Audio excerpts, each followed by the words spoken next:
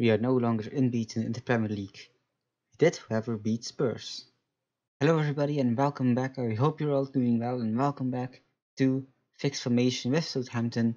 So like I said in the beginning of the video, 10 games into the Premier League season, we are no longer unbeaten, uh, having lost twice. We did win a, a big, big game against Spurs. So the first game off camera was a 2-1 loss against uh, Wolves.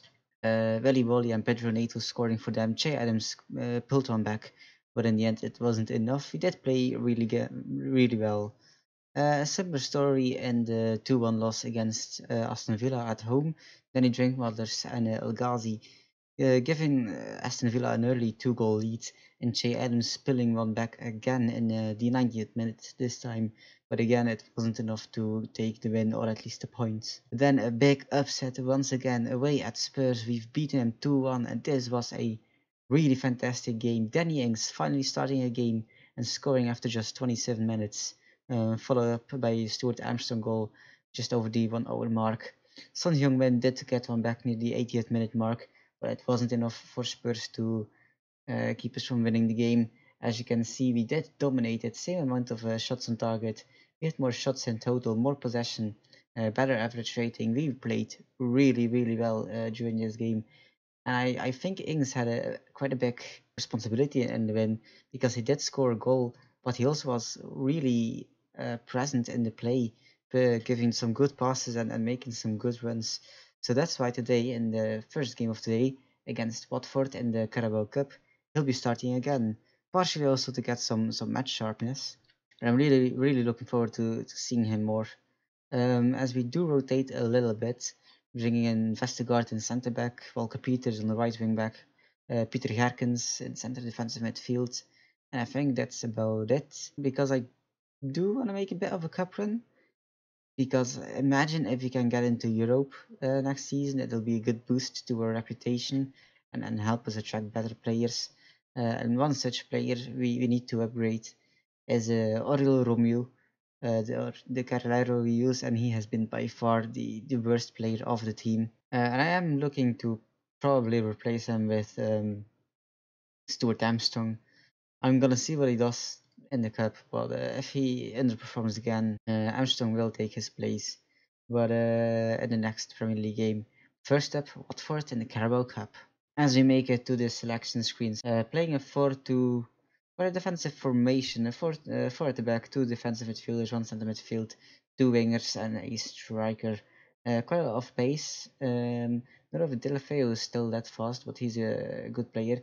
João Pedro, no goals as of yet, so he'll probably score against us. Isaac Success, he's uh, pretty fast. Uh, Kabasele is a good defender, as is Mariappa. So it's a it's a decent team, but um, I'd still consider us favourites. As we get the match underway in the third or fourth round of the Carabao Cup. I can't really remember now. Like I said, a, a run in this would be really nice. Um, just to, to be able to rotate the squad a little bit and to maybe get into Europe as the first highlight is here after 50 minutes and it's Southampton on the ball with Romeu into Gerkens. Finds Bertrand on the wing, looking to cut inside. He's going for it. He's going to shoot? He does and he scores. Ryan Bertrand, it's 1 0. Another fantastic goal by a left back, and it's his first of the season. But uh, really surprising. It's a great start from us. Good football, Bertrand having all the space on that left wing, cutting inside and hitting it so well. A lot of power, a lot of accuracy, and the keeper was beaten every single day of the week. Uh, so it's a fantastic start to us. As we're on to the next highlight, it looks like it'll be a free kick for them. Maybe we can confront him. This swept in, finds it to Doucouré and he scores. And it was very poor defending. Also no offside. But uh, I do want to see that goal again. Because he found himself in so much space. So it's Deulofeu with the free kick. Uh, João Pedro just like he's being covered by two men and, and Doucouré isn't. So that's pretty poor defending and, and something I'll probably have to look into. Like this is something I'm not comfortable with. Something I, I usually never do is create my own set pieces. I usually just, that's a weird highlight, just um, pick the standard ones. Maybe it's time once we, we optimize the formation to also have a look at, at set pieces as we're into another highlight uh, with Watford stealing our ball and now trying to play it upfield, finding Deulofeu out wide again. Bertrand can't stop it. He's uh, been run off the ball, so it's still Deulofeu, still Deulofeu hits it and Gunn makes the save. Uh, it's clearly Watford uh, picking up the pace a little bit after the, the early goal down. Uh, and now, of course, back on equal terms. As that corner is cleared only as far as Pedro Diaz, who plays it back. And that's the end of the highlights in true FM fashion. As we make it to halftime at 1-1, we are the better squad. Still, uh, not that much of possession, but something, uh, something of a trend with this, uh, with this formation. Redmond not really being present in the game. Danny Ings also playing a bit poor. Romeu not the not the worst player on the pitch, but not really present. Uh, same for Pete. Uh, same goes for the rest of the teams. Uh, rest of the team bar Gerkens and, and. I'm gonna keep it as is. Give them about till the 60th minute and then make some changes. As very fast we are into another highlight. One minute into the second half, it's Vestergaard into Romeu. Out wide to Walker Peters. Again, those wingbacks being so important. What can he do? Finds Ward Prowse this time.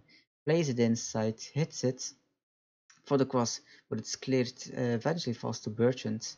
What can he do? Lose it to Deulofeu um, for a second, and he's actually being sent off. I have no idea why, but Deulofeu just got red carded. First time. Um, I'll take it. So it's definitely uh, ours to lose. As we have another throwing on the one hour mark, finding Redmond out to Bertrand. Can he whip it in for a cross or is he going to shoot again? Tries to find uh, Ings in the 16, but eventually falls to Walker Peters who makes it 2 1. And that's not a fantastic goal again set up by the fullbacks. As it's, it's time to make some changes. Danny Ings uh, probably still looking, uh, searching for his best form. So let's bring in Obafemi. Um, we're going to keep Romeu on the pitch, give him another chance to prove himself, but he's not going to be in the team next game if he continues to play like this. Um, as we'll also take off Redmond, really not his best game, as uh, apparently Armstrong is really good at playing Shadow Striker, so let's give him a chance. And we're at another highlight, this time forward for Watford, they whip it and it is... Uh... Damn it, it's 2-2. Adam Masina having all the space to hit it from just outside of the box, finding that bottom right, bottom right corner, and uh, leveling it up for Watford once again. Uh, really disappointing considering we're playing against Tin Man. Um, but it's an insta highlight, hopefully for us, as I do want to win this game in normal time. I'm not really looking forward to playing extra time as we lose the ball to Quina and it seems like we're just a bit too complacent against it. Man finds João Pedro, but eventually picked up by Gunn. Maybe we can still turn this highlight in our favor. It's a big throw into Walker Peters, who finds James Ward-Prowse. Finding Armstrong, has Walker Peters on the wing, gives it to the other wing with Bertrand, whips it into Obafemi, and it's 3-2.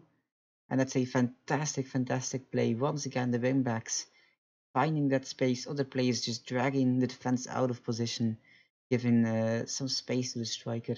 And Obafemi with a great finish, his second goal of the season. 3-1 to us to Southampton. As we've just passed the 80th minute mark, uh, no highlights uh, since last goal, and it just looks like we'll finish the game as the best team. But still, this was against Tinman, as we apparently have one last highlight, one minute away, uh, one minute left in extra time. Head away, finds Peter Gerkens, loses the ball very, very poorly, and damn it. Oh, it's been disallowed for offside. Still, it was very, very poor play, but uh, we got away there. We might just flatter ourselves a little bit, scoring a 4-1. It's blocked by Bertrand, and I think that's gonna be that 20 seconds left uh, in extra time. And that's indeed it. We've beaten Watford 2-3 and I think we're on to the quarter-final of the Carabao Cup. Not the best game. Um, but the boys did the job. Any big eliminations, Chelsea going through uh, as the United, Reading on penalties. So uh, probably surprising for uh, Bournemouth going out. But uh, yeah, we live to find another day in the Carabao Cup. As we are indeed through to the Carabao Cup quarterfinal. Um, eight teams still in the hat, so four games to be played. Uh, still some big ones left in, in City and Chelsea, and I think, like we saw, United is also still there. But also teams like Reading and Swansea, which are the ones we are, of course, hoping to be drawn against. Uh, let's see, Norwich is also still here, as is Everton. So uh, yeah, still some some difficult matches to be played, but also some attainable ones.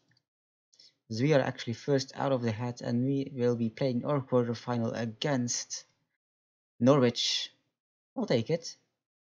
Would have preferred Reading or uh, or Swansea, but um, yeah, I've, I've, it could have been worse. We'll also be playing at home, so that's uh, that's a big upside. Where are Norwich in the Prem? They are 14th, seven points behind us. So it's not uh, not going to be the easiest games, but we did just beat Watford, and they are kind of in a similar position as Norwich uh, this early in the season. So uh, we might just be able to get into a semi-final of the Carabao Cup. As we've made it to match day, Aston Villa just beaten Man United 4-2 have put, put themselves in second place in the Premier League. I mean, we're playing alright. Aston Villa, they are just being ridiculous for now. So the team for this game will be will remain largely unchanged for the normal uh, from the normal 11. Just two substitutions. Um, Armstrong coming in for uh, Romeu because Romeu has been playing like shit, and uh, Kurzawa on the left back uh, position replacing Ryan Bertrand because he was nagging for the show play playtime. I didn't actually told them I'd give it because I'm still not to use him as my first team uh, left back. But Bertrand was also on a bit of a low uh, overall condition, so I thought it couldn't hurt to give Kurzawa a chance and uh, prove me wrong. As we are hosting West Ham 18th place uh, West Ham United in the Premier League. So this should be a must must win game. Still, they have a pretty good team with Ogbonna and Fabianski in goal.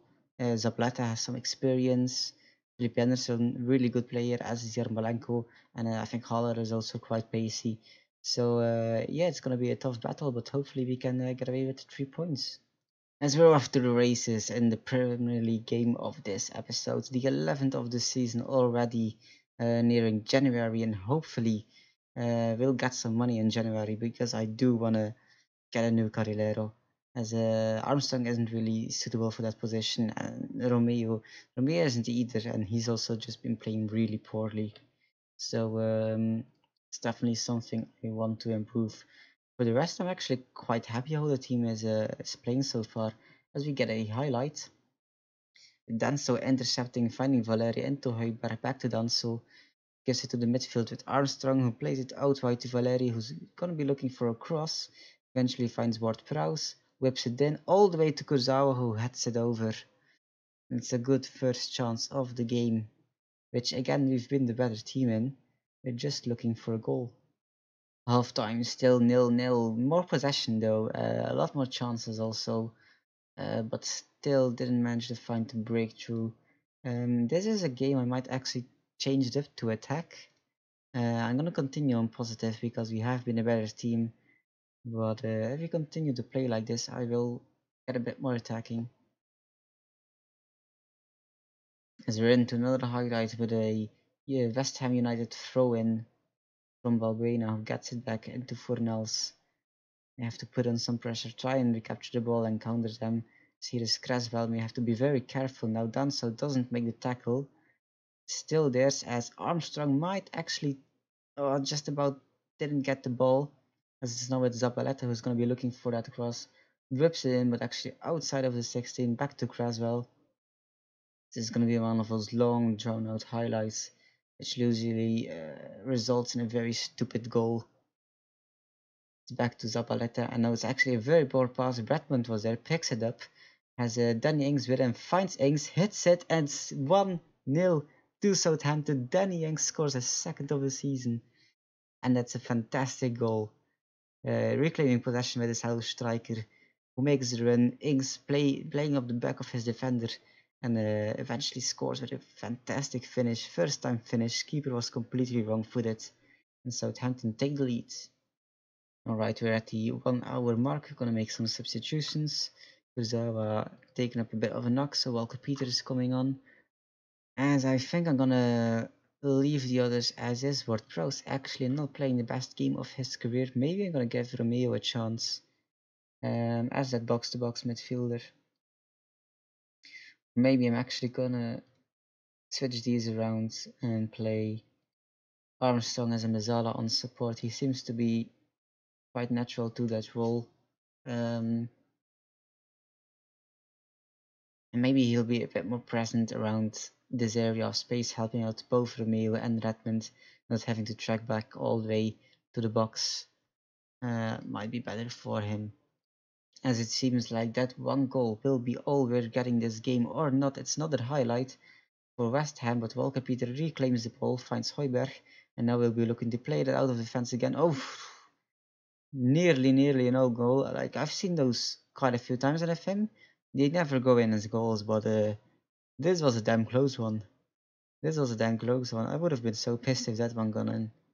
Because we've been really the better team. A lot of chances, a lot of shots on target, even more possession, but um, again, not really the goals. But we do win it 1 0. Simon Hooper having a fantastic game as the referee, so big ups to him. And um, yeah, my assistant manager doesn't really. He's already fucked up, fucked off home. So it's left it to me to uh, congratulate the boys on a good game. At the end of the day, if you win it 1 0 or 5 0, we have the 3 points. We're back up to 7th in the Premier League, 2 points off those uh, definite, uh, definite uh, European places. Depending on the cups, you might still get it with 7th, I think. Even it's Europa Cup too. But the season is still very long and we might still fall all the way back to a relegation battle. As for next episode, um, the United and Chelsea games are a bit too close for another video, so I will be showing you the Norwich game as a, it's, a, it's another Carabao Cup game in the quarterfinal. We might be able to progress to the semi-final, and I think that uh, if we could win a bit of silverware this season, uh, the Carabao Cup is going to be our best uh, choice there. Followed up by the Arsenal game in the Premier League. So two home games one we should win, one that's going to be another difficult one, but we have um, done some incredible things against top six teams before. But that'll be that for this episode. Thank you all very much for watching and see you on the next one.